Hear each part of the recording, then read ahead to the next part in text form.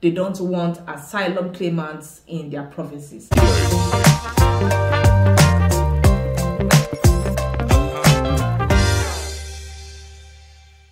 Hello, beautiful people. Welcome back to the Canada Infohub channel. My name is Wolo. I am a regulated Canadian immigration consultant. I am based in New Brunswick, Canada.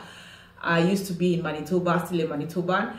And I want to say thank you to all of my subscribers. If you're new to this channel, please just subscribe and also click the notification bell and you'll be getting updates concerning Canadian immigration and life in Canada. I know today's topic is going to trigger some people, but it is what it is. Um, it is not me. It is what was going on on Twitter last week, which I want to talk about today. And it's about asylum seekers. Of course, you see the title. So I want us to start from the beginning. As of 2023, according to the United Nations um, Refugee Agency, which is the UNHCR, um, I'm looking at my screen so that I can get the correct information. 144,035 people um, sought asylum in Canada as at 2023. And according to them, it said it was 1.5 times the previous record set in 2022. So between 2016 and 2022, there was a surge of asylum claim. It was mainly from the Roxham Road. The Roxham Road is the road that links New York and Montreal. So that road, people were using that road to come into Canada to claim asylum. And then the United States and Canada came to an agreement to block that road. So it no, it no longer was an access for people. It was never an official route. Normally, if you want to claim asylum, you have to claim asylum at the port of entry, which is um, you take a flight, you come into Canada probably as a visitor, and then at the border, you at the airport, you claim asylum. And then that Roxham Road was an unofficial route that people were using to come into Canada to claim asylum. So the US government and Canada agreed to block that road and not allowing people to claim asylum from that road. But after they did that, it still did not stop the number of people claiming asylum. If you recall, I did a video sometime last month or two months ago, I can't remember, but I'll put the details on the screen, where I talked about a Nigerian lady who had lived in Canada for some time that was facing deportation. And in that video, I mentioned that we had information that many people who were coming to Canada as visitors were being forced to claim asylum at the Montreal airport. And I said, if you don't want to claim asylum, avoid the Montreal airport. So what they were doing was they will send you back. If, if you come as a visitor and it's your first time, they ask you certain questions at the port of entry. If you're not able to answer the questions, especially if you, you didn't do the application yourself, maybe you paid an agent to help you prepare your application, and you get to the border, they ask you questions concerning your application and you can't provide the answers. They will tell you to go back to your country of origin. That's they will put you in the next flight back to your country of origin, or you have the option of claiming asylum. So there has been a surge of asylum claimants. The data for the number of asylum claimants in 2024 has not yet been released, but as at 2023, the number is 144,035. And and the Immigration Refugee Board, they are very slow in actually hearing people's cases. And besides that, you have lots of people whose claims have, have been rejected and they are trying to deport them and they are trying to fight the deportation order. You know, all these things is just making the system backlogged. And during this period, the people who have claimed asylum, especially those that came in between late last year and this year, they are waiting for their claims to be heard before they now be granted work permit and then before they can now start working. So while they are waiting for all of this to be done, they are kept in limbo. They cannot work. They would be provided shelter and then some form of stipend to manage themselves until their case is heard before further hearing. So the period of waiting, the cost of actually taking care of these people, providing shelter for them, feeding them, it is the government, the federal government that bears this cost. And Ontario and Quebec have been um, managing these expenses and complaining or talking back to the government, the, that's the federal government, to provide more financial resources because there, there has been an increase of the number of asylum claimants that are coming in. So last week, the New Brunswick government, you know, uh, put up a Twitter post. I'm going to put it on the screen and said that they, they don't want asylum claimants in New Brunswick.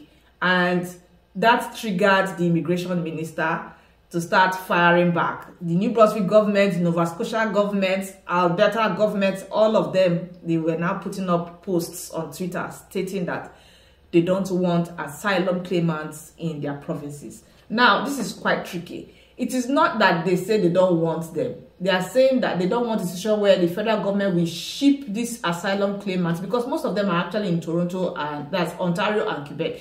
They don't want a situation where the federal government will ship these asylum claimants to their provinces without giving them any money to provide shelter for them and to give them um, some form of stipend, daily stipend or weekly stipend to sustain themselves.